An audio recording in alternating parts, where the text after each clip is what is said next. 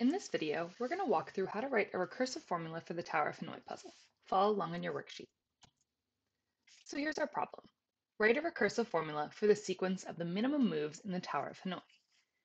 We're already given a table that shows the minimum number of moves, f of n, based on the number of disks, n.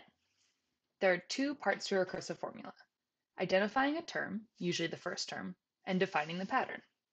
Right away, we can identify the first term here, since it's given in the table we can see the first term is 1. And that we can write that as f of 1 equals 1. That's the first half of our recursive formula. I'm writing it in a box on the side so we can easily come back after we're done working on the second half of the recursive formula. Next, I need to find the pattern that defines this recursive sequence. Remember, recursive means a specific term is defined by using a previous term. So I'm looking for the pattern that gets me from one term to the next. We found this pattern earlier when completing the Tower of Hanoi puzzle. Let's walk through how to find the second term using the first term. The first term is 1. We multiply it by 2 and add 1. This gives us the second term, which is 3. Let's keep going to find the third term. The second term is 3. We multiply it by 2 and then add 1. That gives us the third term, which is 7. We do the same thing to find the fourth term.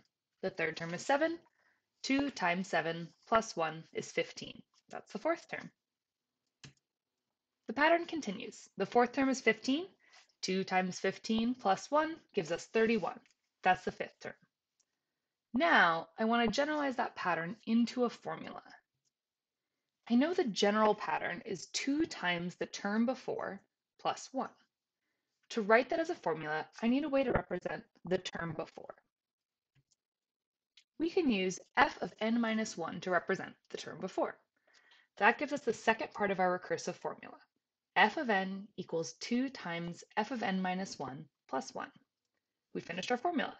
The first part, f of 1 equals 1, tells us that the first term is 1. The second part tells us that we can find the value of the term n by multiplying the term before by 2 and adding 1. Next, let's check our formula by using f of 4 to find f of 5. To start, identify f of 4. f of 4 is 15. Next, let's use our formula to find f of 5. f of 5 equals 2 times f of 5 minus 1 plus 1. We can simplify that to f of 5 equals 2 times f of 4 plus 1. Plug in our value for f of 4 to solve. f of 4 is 15, so now we have f of 5 equals 2 times 15 plus 1. That gives us a final answer of f of 5 equals 31, we can check that using the sequence given in the table, and it's correct. Great work.